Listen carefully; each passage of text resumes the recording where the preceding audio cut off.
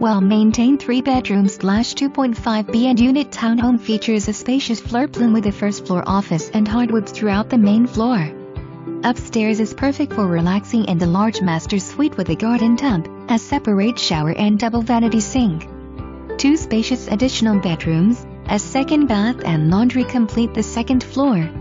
Screened-in porch. Conveniently located minutes from downtown Raleigh and Cary.